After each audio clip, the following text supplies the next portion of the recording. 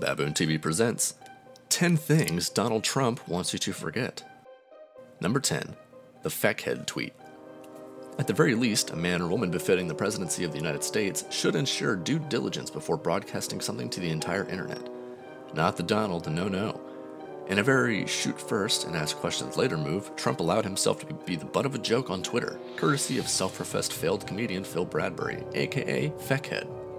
He tweeted Trump a very dated picture of a happy looking couple, adding, My parents who passed away always said you were a big inspiration. Can you please retweet this for their memory? Trump, presumably caught up in a smug moment of self importance, retweeted the back patting post. An ounce of skepticism and a quick Google search would have informed the Donald that the pleasant duo in the pic were not the parents of Phil Bradbury, but were actually convicted serial killers Fred and Rosemary West. The married couple were found guilty of torturing and raping several young girls in the 1970s. Eleven of the girls, including Fred's stepdaughter, were murdered by the Wests. Number 9. Trump Vodka. Trump told Larry King that he got into the vodka business to outdo his friends at Grey Goose. Well, as of last weekend, I can verify that Grey Goose is still being served in bars, and Trump vodka is as likely to show up on store shelves as Michael Vick Wheaties box. Sadly, Trump vodka stopped production because the company failed to meet the threshold requirements. Number 8. Not made in America. Quote the Donald, the problem with our country is we don't manufacture anything anymore. The stuff that's been sent over from China falls apart after a year and a half. It's crap. And how about this charmer? The United States has become a dumping ground for Mexico and, in fact, for many other parts of the world. These are not snippets taken out of context.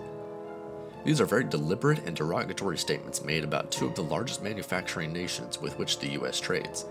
Enter the Donald J. Trump Signature Collection, this series of ties and other men's apparel were made in the good old US of. Wait? No, actually, the Trump signature collection was made in the good old Bangladesh, Mexico, and of course, China. Trump later tweeted a comment about being unhappy with the product coming from overseas, but sure didn't mind it when his ties were costing pennies on the dollar. Number 7. Trump Airlines. What could be more luxurious than top of the line air travel? That must be what Trump thought when he dumped $365 million into purchasing Eastern Air Shuttle. After fancying up the 17 Boeing 727 jets, the company went bust. Apparently, even wealthy frequent flyers were more concerned with convenience rather than extravagance. Number 6. Donald Trump claims to hate the B word. Hate it or not, he can't deny that his gilded career has also been fraught with a few bankruptcies. In the August 6th Republican debate, Trump claimed that virtually every person that you read about on the front page of the business sections, they've used the bankruptcy law. If only historical data backed that claim. In reality, fewer than 20% of public companies with assets of $1 billion or more have filed for bankruptcy. Now, while the Donald has never filed for personal bankruptcy, he has filed a whopping four times for his businesses. The most recent of these was in 2009 when he filed Chapter 11 for Trump Entertainment Resorts. Number 5. How can this man not win the female voting demographic? After the very same Republican debate where Trump defended his history of bankruptcy, Donald guaranteed himself a top five spot for Ms. Magazine's Man of the Year award when he berated moderator Megyn Kelly. With a Fox News pundit, Trump stated, She gets out she starts asking me all sorts of ridiculous questions. You could see that there was blood coming out of her eyes, blood coming out of her whatever. Her whatever. Her wherever. Trump, not a man to back down or apologize, continued his assault on Kelly. He tweeted that she bombed and that she wasn't good or professional during the debate. He also retweeted a post from someone who actually called Kelly a bimbo. Trump's comments grew the ire of many people, both inside and outside the political spectrum, and inspired an online Stand with Megyn campaign. While he would never admit it publicly, Trump would surely take a do over on this unseemly blunder. Number 4. At a Republican presidential forum in July, Trump ensured only crickets and tumbleweeds could be heard in the crowd when he blasted the military service of Arizona Senator John McCain. Now, to ensure proper context, McCain was a naval pilot during the Vietnam conflict. His plane was shot down and held prisoner in Hanoi for five years. McCain refused early release despite being beaten by his captors.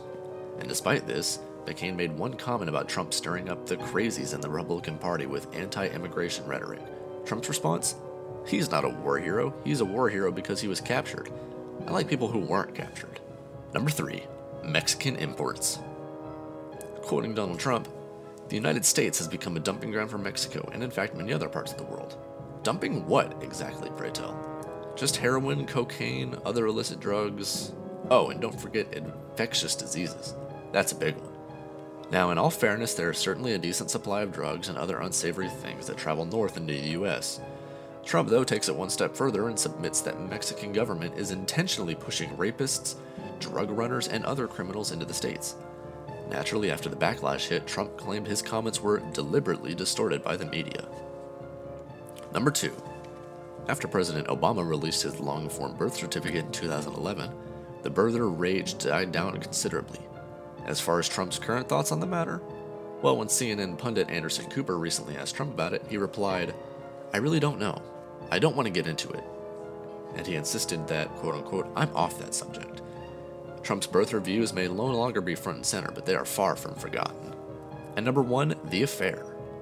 Many of the items on this list can and have been explained away by Donald Trump as being, quote unquote, misunderstandings, out of context, or distorted. He can say that his bankruptcies were deliberate business decisions. He can spin his China and Mexico comments. The one thing he can't spin is his affair with former mistress and eventually second wife, Marla Maples. Good going, Trump. Don't forget to subscribe for more videos.